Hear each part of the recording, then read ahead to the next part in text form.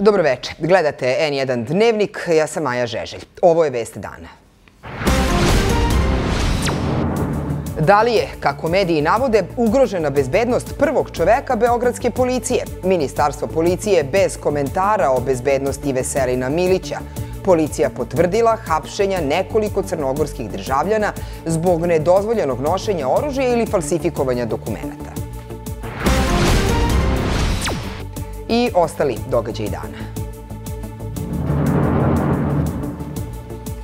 Opadaju li političke tenzije u regionu? U Skoplju se nastavlja istraga o incidentu u Sobranju. U Hrvatskoj preokret HDZ prikupio dovoljan broj glasova za svog predsednika Sabora. Prethodnih nedelja iz vlade Srbije ka Evropskoj uniji upućen je niz jakih poruka. Kako na to reaguju strane diplomate u Beogradu? Ja bih lagao da ne bi, da, da ne bi rekao da, da, da ne zabrinjava e, te oštri reči koje ima između recimo Prištine i Beograda ponekad i, i te probleme. Jačali kreacionizam. 165 ljudi, među njima i naučnici, akademici i doktori nauka, traže da se u školama i na fakultetima revidira teorija o postanku sveta. U subotu sunčano, u nedelju oblačno sa kišom i pljuskovima, a temperatura u padu. Da li je ugrožena bezbednost prvog čoveka Beogradske policije Veselina Milića? Medijski napisi navode kako je mafija pripremala njegovu likvidaciju. Međutim, zvanične istrage o tome nema. Hapšenje crnogorskih državljana u posljednjih deset dana za nedozvoljeno nošenje oružja ili falsifikovanje dokumenta mediji povezuju sa šefom Beogradske policije Veselinom Milićem i pripremom njegove likvidacije – Lisice na ruke 24. aprila na Čukarici stavljene su Nemanji Zurovcu i Strahinji Kneževiću, koji su, kako se sumnja, trebalo da budu izvršioci ovog zločina. Međutim, u Ministarstvu unutrašnjih poslova ne žele da komentarišu da li je Milićeva bezbednost ugrožena, ali potvrđuju da su ta dvojica crnogorskih državljana uhapšena zbog nelegalnog nošenja oružja. U drugom osnovnom tužilaštvu kažu da im je upravo zbog oružja i određen pritvor – Medije navode i da su 26. aprila usledila nova hapšenja. Uhapšeni su Vladimir Roganović, Igor Bošnjak i Luka Medić. Kod njih su pronađena falsifikovana dokumenta, a utvrđeno je da je štek stan u blizini načelnikovog, u kom su boravili Zurovac i Knežević, iznajmio upravo Luka Medić. U MUP-u međutim kažu da su od te trojice uhapsili samo jednog, Vladimira Roganovića, i to ne krajem aprila, već jutros, zbog falsifikovanih dokumenta. Ostalu dvojicu, kažu, nisu ni hapsili. U Beogradskom centru za bezbednostnu politiku procenjuju da je situacija krajnje ozbiljna, s obzirom na to da se u medijima navodi kako su potencijalni likvidatori načelnika bili povezani sa vođom navijača Aleksandrom Stankovićem, zvani Sale Mutavi, posle čijeg ubistva u oktobru prošle godine je ministar policije sazvao konferenciju i objavio, kako je rekao, rat mafiji. Da tužilaštvo mora da istraži ovaj slučaj e, do kraja, jer u suprotnom e, se dokazuje da e, država nije u stanju da se suoči sa huliganskim i jurišnim odrednima ili da je u sprezi sa njima, što ni, jedno, ni jedan i drugi scenarij nije dobar za građane ove zemlje. Novinar Filip Švarm kaže da su crnogorsko-srpski klanovi izuzetno moćni kada je u pitanju trgovina narkoticima na ruti ka zapadnoj Evropi. Iako postoji dakle, neka mogućnost, neka vrsta e, procene da su ugroženi, da policija radi svoj posao, ja ne isključujem mogućnost dakle, ni pokušaja atentata na šefa Beogradske policije, jer na taj način se pokušava zastrašiti sve institucije u državi, a prvenstveno policija, da ne radi svoj posao. Švarm ne isključuje ni upotrebu takozvanih spin vesti, kada se u samoj policiji dve struje bore za prevlast. Tada se u sličnim tekstovima neko proglašava žrtvom ili zastrašuje, napominje Švarm. Jelena Zorić, N1, Beograd. Da li se političke krize u regionu smiruju? Kandidat parlamentarne većine za premijera Makedonije Zoran Zajev izjavio je da je makedonskom društvu neophodno pomirenje, ali i da će morati da ima odgovornost za učinjena dela. U Skoplju je naša reporterka Gordana Bjeletić. Gordana, dokle se stiglo sa istragom o prošlonedeljnom incidentu? Ono što se sledeće u istrazi očekuje jeste da oni koji su u napadu povređeni, podsjetit ću da je bilo više od 80 oni koji su tražili pomoć lekara, da oni daju iskaz sa advokatima povređenih poslanika. Dogovoreno je da oni prvi daju iskaz tokom sledeće nedelje. Umeđu vremenu se nastavljaju i privođenja i saslušanja 20 do sada identifikovanih napadača. Danas je policija prvi put otvorila tu pres salu, otpečatili su salu koja je bila epicentar napada u kojoj su bili povređeni novi novinari i poslanici. Evo što o toj večeri kaže novinarka koja je četiri i po sata uživo izveštavala tokom napada. Na moje veliko iznenađenje bilo je jako malo policije i specijalaca pred vratima, a i unutra. Izveštavala sam sa mnogo protesta gde je bilo mnogo više policije u poređenju sa ovim. Prvo iznenađenje, dakle, bilo je to otvaranje vrata i upadanje velikog broja ljudi, a drugo iznenađenje je, ponavljam, mali broj ljudi koji su obezbeđivali sobranje. Kada je odgovornosti unutar policije reč, čeka se izveštaj radne grupe koja je formirana da ispita tu odgovornost.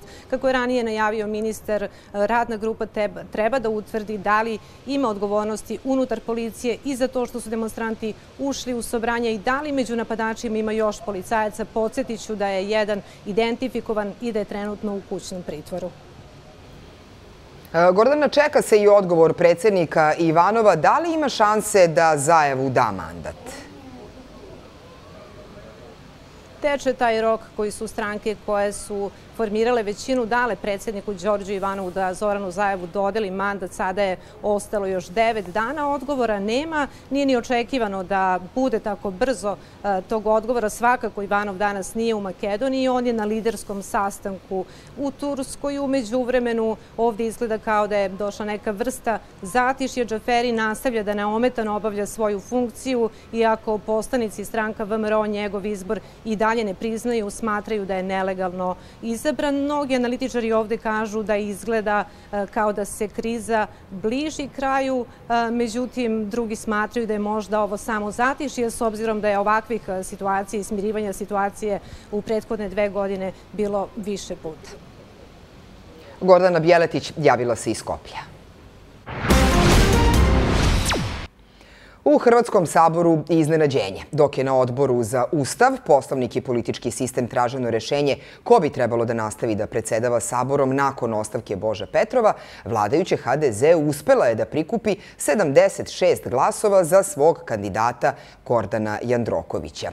U Zagrebu je Ana Mlinarić. E, Ana, kako je obezbeđena većina?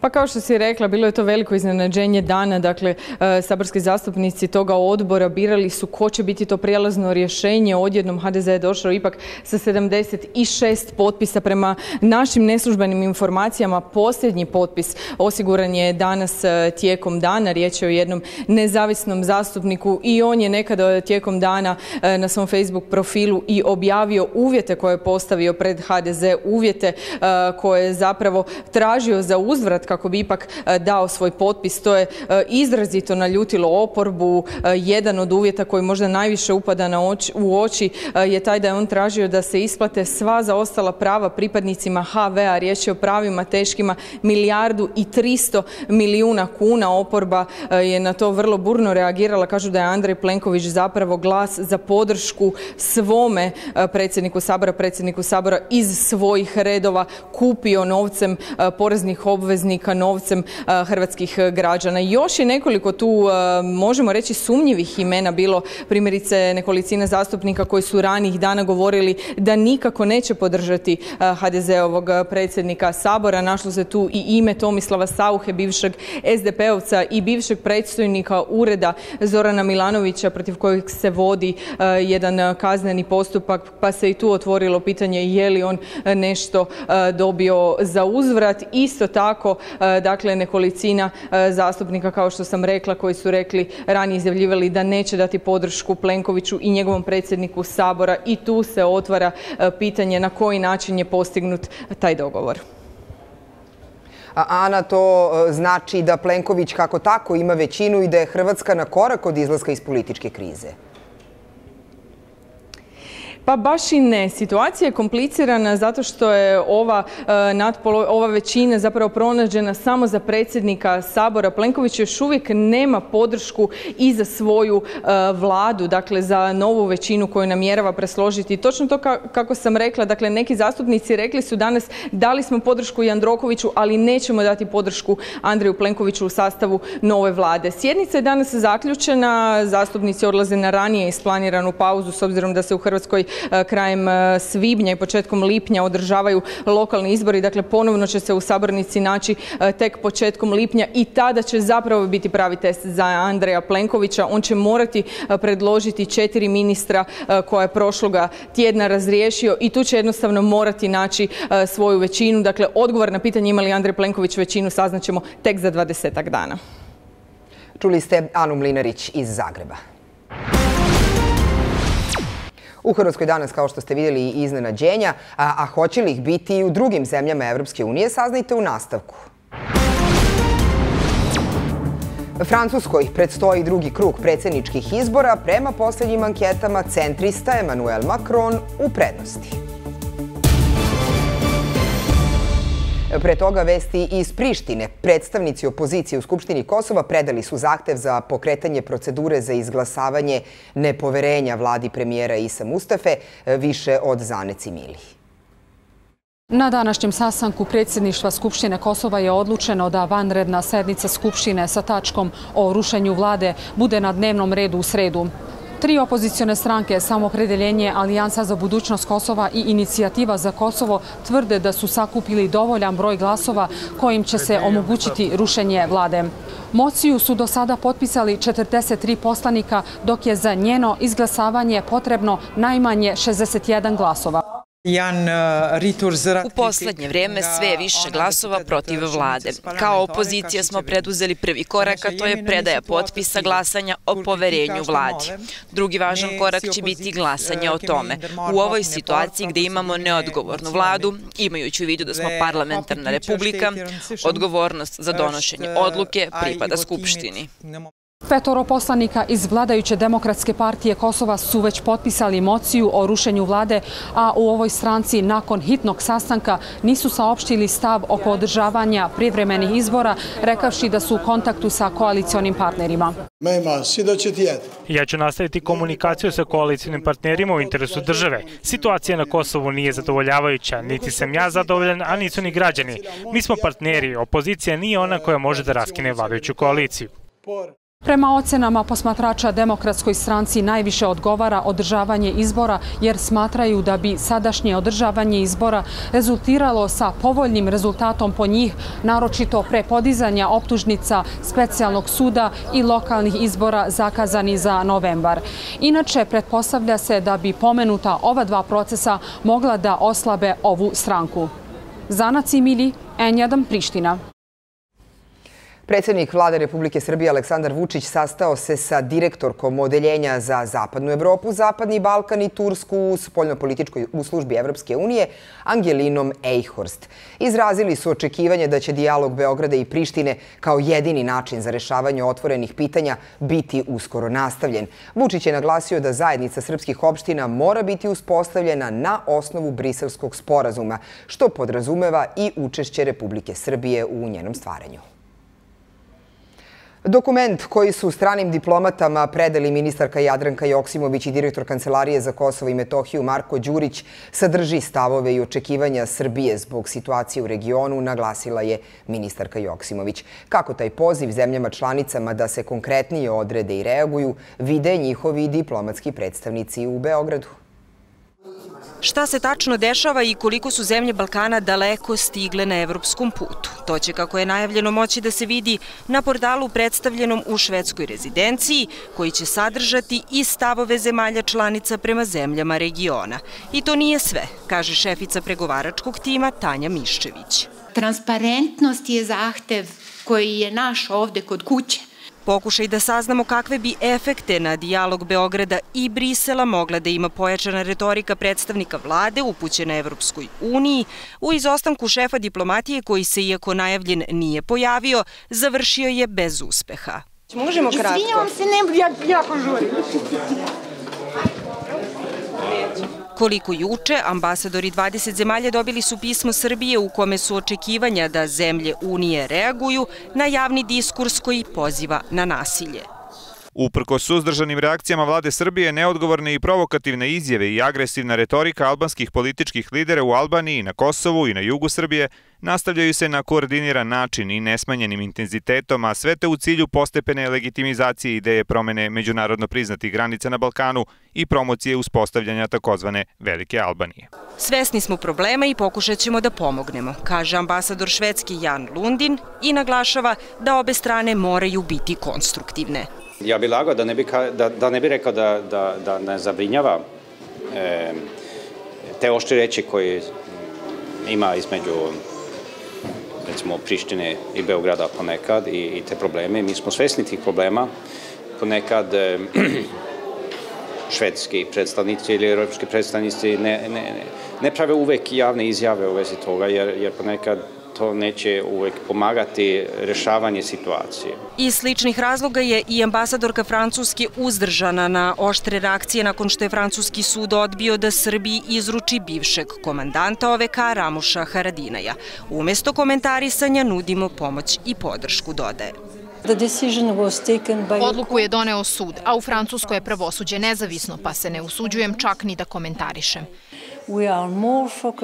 Mi se više fokusiramo na konkretnu i praktičnu pomoć u procesu reformi, na jačanje veza između zemalja regiona i zemalja članica, prijateljske odnose i traženje mirnih rešenja. Političke trzavice i odnosi nisu bili tema Skupštinskog odbora za spoljne poslove koji je raspravljao o učešću na međunarodnim skupovima i sastavu poslaničkih klubova prijateljstva. Predsednik odbora Žarko Obradović kaže da je spreman da, ukoliko bude inicijative, na neku od narednih sednica pozove šefa srpske diplomatije. Jelena Petrović, N1, Beograd. Ministar spoljnih poslova Ivica Dačić najavio je da će naredne nedelje pokrenuti inicijativu kod premijera Srbije Aleksandra Vučića za rešavanje diplomatskog statusa Srpsko-Ruskog humanitarnog centra u Nišu. Dačić je za politiku rekao da je sporazum o uslovima boravka, privilegijama i imunitetima tog centra na čekanju od avgusta 2014. godine. Srbija mora da gleda svoj interes. Ako već ima bilateralne sporazume sa drugim zemljama, onda treba da ima i sa Rusijom. Jer kako neko može opravdati da ruski spasilac iz centra u Nišu ne može da dobije status vozača u nekoj zapadnoj zemlji, rekao je Dačić za politiku.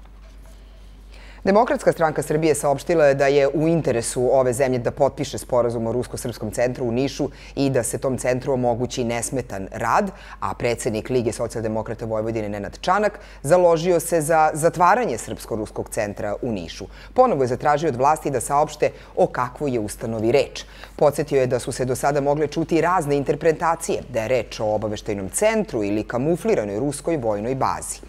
Nakon krupnih političkih promena koje će se narednih nedelja desiti u Makedoniji, kao i punopravnog članstva Crne Gore u NATO, pitanje ukidanja ruskog obaveštajnog punkta u Nišu postavit će se kao prioritetan problem u izmenjenim regionalnim okolnostima, naveo je Čanak. Predsednik Srbije Tomislav Nikolić izjavio je danas na svečanosti povodom 187 godina od osnivanja garde da pripadnici te elitne jedinice Vojske Srbije i danas uspešno izvršavaju sve zadatke i brinu o bezbednosti građana. Nikolić je prethodno uručio odlikovanje jedinicama i ustanovama Vojske Srbije. Sadašnja garda nastala je 30. novembra 2006. godine transformacijom gardijske brigade. Prva gardijska jedinica u Srbiji formirana je naredbom kneza Miloša Obrenovića 6. maja 1830. godine u Požarevcu, ozakonjena je kneževim ukazom 12. maja 1838. Kao gledalo časti, vojničke veštine i besprekorne spremnosti cele vojske Srbije sa izvarednim gardijskim umećem, vi ste prva slika naše zemlje i vojske sa kojom se susreću gosti Srbije državni zvaničnici iz celog sveta. Ponosan sam što sam svoj mandat predsjednika Srbije obavljao okružen plavim gardijskim uniformama. Uveren sam da ćete, kao pripadnici jedinice koji u svojoj časnoj istoriji šest puta odlikovana ordenom, nastaviti u narodnom periodu da odgovorno i savjesno izvršavate sve svoje zadatke. Nastavite i dalje da čuvate čast i ugled Republike Srbije i mir i bezbednost njenih građana. Premijer Srbije Aleksandar Vučić uputio je danas čestitku Rusiji povodom Dana pobede 9. maja, navodeći da je ruski narod presudno uticao na pobedu nad fašizmom. Obraćajući se u video snimku na ruskom jeziku, Vučić je rekao da je Dan pobede jedan od najznačajnijih datuma u istoriji čovečanstva. Своими героическими подвигами во Второй мировой войне он успел уничтожить фашизм и спасти весь мир от этой темной силы – mužestvo soldat Krasne armije. Svojim herojskim podvizima u drugom svetskom ratu Rusi su iskorenili fašizam i spasili ceo svet od te mračne sile. Hrabrost vojnika Crvene armije zaslužuje poštovanje i neuništivo sećanje u našim srcima. Ponosan sam što je narod Srbije, boreći se rame uz rame sa drugim narodima, doprineo pobedi nad nacizmom i dobio mir i slobodu. Čestitam Rusiji, ruskom narodu i celokupnom slobodoljubivom čovečanstvu ovaj veliki dan, dan pobede nad fašizmom. Većina mladih u Srbiji želi više prakse tokom školovanja, ali planira da u narednih pet godina napusti zemlju zbog karijere. To pokazuju rezultati istraživanja stavova mladih koje je sprovela studentska organizacija AESEC. 80% ispitanika je navelo da je kroz učenje praktično iskustvo najkorisnije, 40% smatra da u Srbiji ne mogu naći posao kakav žele. Većina ispitanika navela je da polaže na samoobrazovanje kao način da brže i lakše dođu do željenog posla, dok se 58% bavi van nastavnim aktivnostima usmerenim na karijeru. 13 godina, pošto je tadašnja ministarka prosvete Ljiljana Čolić pokušala da dekretom izostavi Darwinovu teoriju evolucije iz nastavnog plana za biologiju za osmi razred osnovne škole, njen potpis ponovo je ispod sličnog zahteva koji sada potpisuje 165 osoba. Ovoga puta oni idu korak dalje i traže da se osim u školama i na fakultetima revidira teorija o postanku sveta. Dva akademika, 50 profesora, 61 doktor nauka, lekari, inženjeri, pravnici, filozofi, umetnici, novinari i pet sveštenih lica. Ukupno njih 166 potpisuje stav našeg sagovornika, hirurga u penziji Radmila Rončevića, koji tvrdi da svet nije nastao onako kako kaže Darwin, te da teorija evolucije nema naučne dokaze. Zasniva se isključivo na spekulacijama, mašti pa i na laži. I tako su, kaže naša sagovornica, oni koji o tome ne znaju ništa, zašli u oblast kojom se ona bavi čitav život. Profesorka evolucione biologije Biljana Stojković nema dilemu da je reč o takozvanim kreacionistima, ljudima koji veruju da je svet kreacija Boga. To je još jedan pokušaj da se religija ubaci u nastavu iz nauke. Nemam veze sa kreacionistima. Mi u ovoj priči se ne bavimo Bogom. On nema veze sa postankom sveta. Ne, ja to ne kažem. Ja bi ovako pričao sa aspekta nauke ili da sam kreacionista ili da sam ateista. Pa neće kreacionisti reći da to ima veze sa Bogom. Njih Ustav sam sprečava u tome da se pozivaju na Boga, ali sve iza toga je upravo samo ta priča i ništa drugo. A jeste li vi vernik? To opet nije bitno za, za ostalo. Ja i da sam vernik i da sam ateista, ja bi isto govorio. Meni se čini da ovo jeste spisak vernika. Taj takav spisak stigao je i u Skupštinu. Potpisnici od poslanika traže da razmotre njihov zahtev da se revidira izučavanje teorije evolucije u školama, ali i na fakultetima. Predsednik odbora za obrazovanje, bivši muftija Muamir Zukorlić, ne krije da je kao vernik bliži kreacionističkom stanovištu. Ali kao predsednik odbora ja nemam pravo e, sa te pozicije nametati svoje stavove. Ja ću se ponašati ovdje kao neko ko vodi ovaj odbor, kao neko ko ima obavezu da jednako svakom članu odbora omogući da izrazi svoje uvjerenje i svoje argumente. Tražiti od odbora za obrazovanje Skupštine se izjasni da li je validna Darwinova teorija je komično.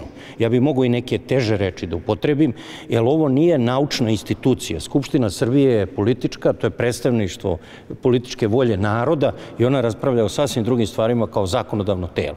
No odavno ih kažu poslanici ništa više ne iznenađuje, pa ne bi ni da se kojim slučajem desi ovo. Da u skupštinsku salu dođe predlog da je zemlja ploča. Maja Nikolić, N1 Beograd. Ne smeju se zaboraviti zločini i organizovan prokon vojvođanskih Hrvata iz njihovih domova koji su se dogodili pre 25 godina. To izjavio predsednik Demokratskog saveza Hrvata u Vojvodini Tomislav Žigmanov. U saopštenju povodom godišnjice iseljavanja Hrvata iz sremskog sela Hrtkovci, on je ocenio da je to jedan od najtragičnijih perioda u novijoj istoriji Vojvodine. U politikama suočavanja s prošlošću izostaje rešavanje pitanja proterivanja Hrvata iz Vojvodine. Pravosudna tela nisu pokretala sudske postupke za učinjene zločine, ne postoji ni jedno javno obeležije, a nema ni prikladnog sećanja. Ovi se zločini prećutkuju i na to ne smemo pristati, rekao je Žigmanov. 6. maja 1992. godine u Hrtkovcima je održan miting na kome je učestvovao i Vojislav Šešelj. Tada su pročitana imena 17 Hrvata kojima je javno poručeno da se isele. Za 19 dana proterano je oko 600 porodica, dodao je Žigmanov, ističući da je ukupan broj iseljenih Hrvata iz Vojvodine između 35 i 40 hiljada ljudi. Umesto da postupa po nalozima i preporukama nezavisnih regulatornih tela, vlast u Srbiji oglušuje se o njihove izveštaje, rekao je vršilac funkcije zaštitnika građana Miloš Janković. On je na tribini Peščanika rekao da primer Savamale pokazuje potpuni izostanak reakcije pravne države na ono što je utvrdio državni organ. Kao jedan od najilustrativnijih primera nedostatka saradnje e, sa zaštitnikom građana je upravo odnos sa Narodnom skupštinom Republike Srbije. Naime, mi smo ove godine predali Narodnoj skupštini Republike Srbije izveštaje. Narodna skupština prethodna dva izveštaja nije uopšte razmatrala na svojoj plenarnoj sednici onako kako to propisi određuju. Postavlja se e, pitanje u toj situaciji ostvarivanja pravne države. Prihvatni centar za migrante u Šidu biće polako iseljen, a migranti koji tamo borave adekvatno smešteni, izjavio je državni sekretar u Ministarstvu za rad Nenad Ivanišević. U izjavi za RTS dodao je da policija kontroliše situaciju i da nema većeg okupljanja migranata osim u Beogradu. Radi se o živim ljudima, ne možemo žive ljude samo potrpati u kamione. Oni se polako raseljavaju u obližnje opštine Principovac i Jadaševce, a ima mesta i u drugim centrima. Deo migranata koji je smetao građanima više nije u samom centru Šida, već su tamo samo porodice s decom, rekao je Ivanišević, a tu informaciju potvrdio je i ministar Vulin sada na prvom mestu vodimo računa da nema kretanja van centra, zatim da sve koji su samci izmestimo uopšte sa prostora šida, dakle da tu bude e, samo porodice sa decom, a onda da smanjujemo i broj porodice sa decom koje možemo da razmestimo na nekim drugim objektima. Mi smo pokazali da smo humani, pokazali smo da smo organizovani, ali vodimo računa o našem stanovništvu, vodimo računa o našem načinu života i vodimo računa da se ni na koji način ne ugrozi svakodnevno funkcionisanje, svakodnevni život šida ili bilo koje uh, druge opštine. Nakon Holandije oči Evrope uperene su u Francusku, preoevropski centrista Emmanuel Macron ili krajnja desničarka Marine Le Pen. Francuski građani odlučit će u nedelju. Prema poslednjim anketama, Le Pen zaostaje za Macronom 24 odsto. Utrka za predsjednika Francuske približava se kraju. Marine Le Pen i Emmanuel Macron od početka kampanje prema anketama stajali su uz bok jedan drugome. Sada, nekoliko dana do drugog kruga i konačne odluke, Macron dobiva 62% glasova, a Le Pen 38%. Na nedavnoj debati ja sam bila glas naroda. Taj izraz bijesa tihe većine koji je dugo bio zanemarivan. Drastično ću smanjiti masovne imigracije koje čine toliko štete našoj zemlji zemlji. One potkopavaju naše nacionalno jedinstvo i oživljavaju komunitarizam. Čelnica Nacionalne fronte Le Pen svoju izbornu kampanju završila je druženjem s građanima na sjeveru Francuske. No okupljeni prosvjedici su je izviždali. No!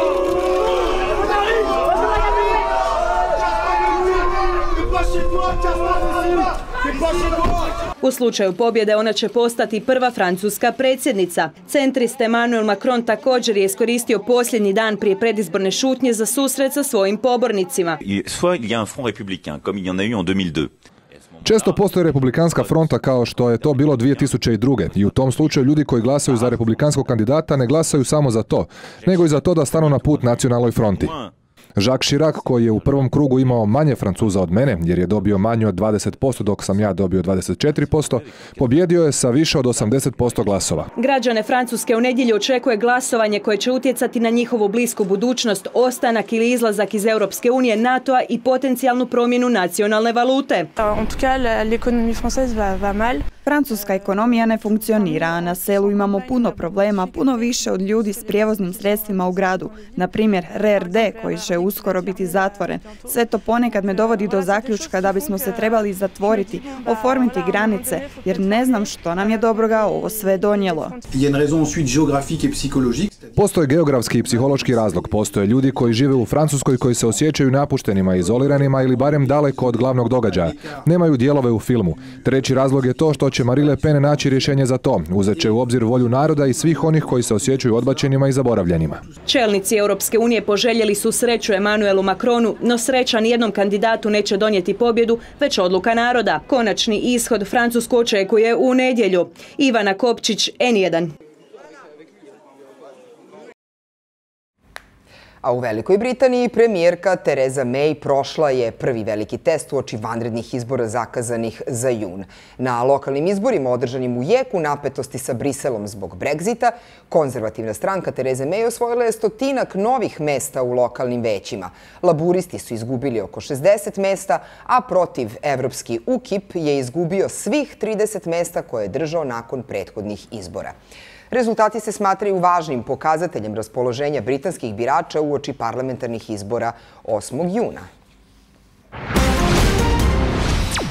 Pripadnici Ministarstva unutrašnjih poslova razrešili su ubistvo 37-godišnje žene čije je telo pre pet dana pronađeno u napuštenom vagonu na železničkoj stanici u Beogradu. Zbog postojanja osnova sumnje da su počinili krivično delo teško ubistvo, uhapšena su braća DN 96. godište i DN 97. godište. Kako se navodi u saopštenju MUPA, sumnja se da su žrtvi naneli više udaraca motkom po glavi i tako je usmrtili. Osumnjičeni su uz krivičnu prijavu u zakonskom roku bili privedeni nadležnom tužilaštvu. Stigli smo i do vremena, ali pre sutrašnje prognoze pogledajte slike današnjeg nevremena. Tokom popodneva Srbiju je zahvatilo nevreme sa gradom. Još uvek nema podataka da li je grad napravio štetu u poljoprivrednim područjima, ali je sigurno da je prolećna nepogoda na kratko poremetila život u najvećim gradovima. Olujno nevreme sa jakim vetrom koje je protutnjalo Novim Sadom izazvalo je probleme u saobraćaju, ali i štetu na katedrali u centru grada sa koje je otpao komad fasade. Nevreme je danas oko jedan zahvatilo i Beograd. Srušilo je fasadu sa zgrade u Resavskoj ulici koja je pala u baštu jednog ugostiteljskog objekta. Na sreću nije bilo povređenih. A evo i prognoze vremena za sutra. Budite in u novoj kolekciji Claudia Donatelli by Ana Kokić. Specijalno dizajnirani modeli čekaju vas u svim radnjama obuće metro. Vreme je za lepe cipele. Premeštanjem ciklona preko naših krajeva atmosfera sve nestabilnija kako nad nama kruži vlažan i nestabilan vazduh. U takvim okolnostima prema večeri kiša pa i pljuskovi praćeni grmljavinom tokom noći vreme će polako da se smiruje, a padavine da prestaju. Kiša će još sporadično da pada na istoku i jugoistoku zemlje. U ostalim predelima će se i oblačnost smanjivati, a tokom sutrašnjeg dana barem delimično i razvedriti. Ipak kraći pljusak moguće još pre podne na istoku, uglavnom u višim predelima, ali i tu će posle podne biti uglavnom suvo i barem delimično sunčano. Vetar sutra u početku slab do umeren severozapadni. U drugom delu dana u okretanju na slab južni i jugoistočni.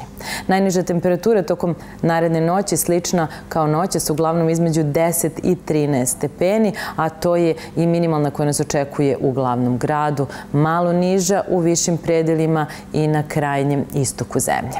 Danju zato prijatno toplo uz najvišu dnevnu temperaturu malo iznad 20 stepeni, 21 maksimalna koja nas očekuje u Beogradu sutra. U nedelju ponovo jačeno oblačenje praćeno čestom kišom u centralnim i južnim područjima i pljuskovima sa grmljavinom, ponegde i obilnije padavine, a uz umeren severni vetar i nešto hladnije. I u ponedeljak još uvek dosta oblaka, pretežno pa i znatno oblačno, ali ipak manje kišovito nego u nedelju. Smanjivanje oblačnosti očekuje nas tokom utorka. Jačaće severni vetar, pa će temperatura biti još malo niža, ipak padavine će prestajati, a povremeno će ih biti još u planinskim i krajnje južnim predelima naše zemlje. Toliko o vremenu. Hvala na pažnje. Budite in u novoj kolekciji Claudia Donatelli by Ana Kokić. Specijalno dizajnirani modeli čekaju vas u svim radnjama obuće Metro. Vreme je za lepe cipele.